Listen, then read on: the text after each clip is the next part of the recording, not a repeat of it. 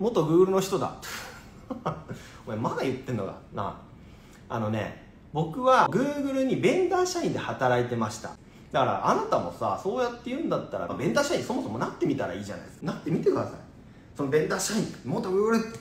リクルートのねその後戦略企画室でね世界中にねそうやって飛び回されるぐらいの仕事任されたらいいですよ。元 Google って言えば任されるんですよ皆さんきっと。ね？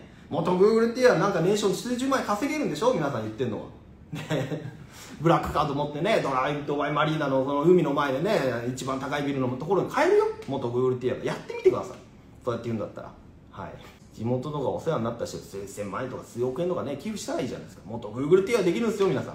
みんなもう誤解してますけども一つの表現の違いをネチネチネチネチ言って元 Google ってこいつは言ってたから今こうなったと思ってるかもしんないけどちゃうのお前が寝てる間にただ働いてたから今こうなっただけやん。バカかてめえはと。